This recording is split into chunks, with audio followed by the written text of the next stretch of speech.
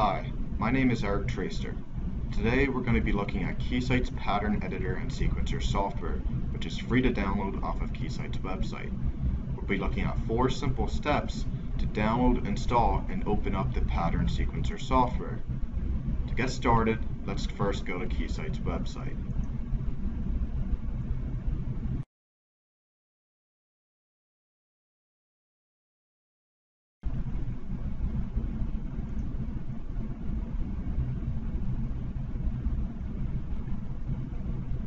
When you navigate to Keysight's website, this is the homepage that you will see. At the very top, there's a search box. Please type in Pattern Editor in the search box, and then select the magnifying glass to search.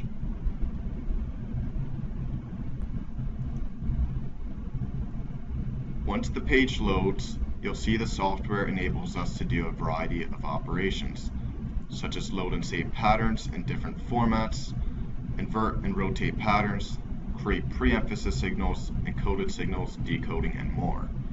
Scroll to the bottom of the page to find the red download link and click to install. Before downloading the software, you will first need to read and accept a software license agreement. Select Agree at the bottom of the page. If you are logged into a Keysight account, you will be able to download the link right away. Otherwise, you will need to provide your name and email address to provide the download link.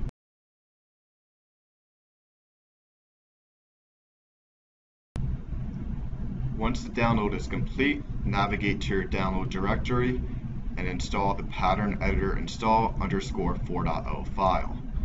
A setup wizard will appear and select the directory you want the application to be installed to. By default, it will be Program Files x86, Agilent Technologies, Pattern Editor 4.0. Alternatively, you can use a USB flash drive and install the application onto the flash drive. This way you can plug the flash drive into your high performance BERT and use the application directly from the instrument itself.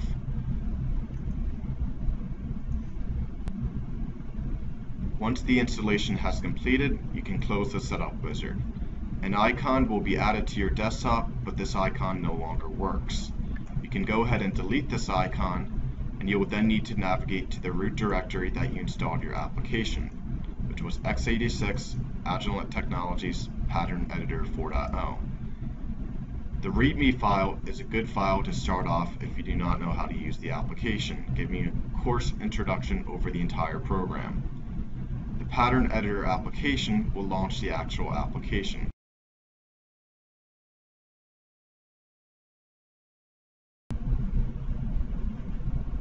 To easily access the Pattern Editor application, I recommend right-clicking the application and sending a shortcut to the desktop.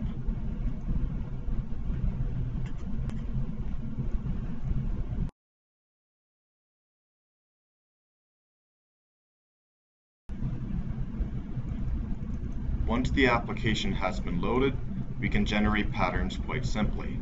Simply select the File menu and load PRBS. Then you can select the number of bits you want in your pattern. We will use 2 to the 7th minus 1 for our example. You'll see on the top menu we have a variety of different functions available to modify our patterns. We can edit them in many ways such as invert, rotate, bit repetition, and more, encode, decode, and change the pattern view too. If you want and you have a supported instrument, you can connect your instrument and upload the pattern directly to the instrument from this application over a local area network. You'll then need to specify the visa address of your instrument to connect to it and download the pattern files directly from the application. You also have the ability to load your own custom pattern files for modification via the File Open menu. If you choose, you can save the pattern onto a flash drive and directly insert it into one of our instruments.